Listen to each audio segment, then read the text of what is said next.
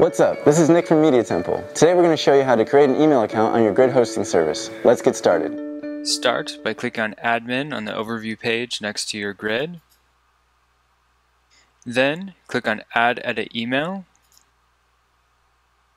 and then Add New. In the first field, enter the username portion for the email address that you're creating.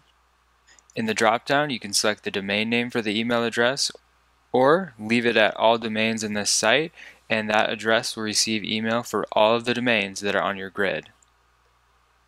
Next, enter a description. This is just for you to identify the account from within the account center.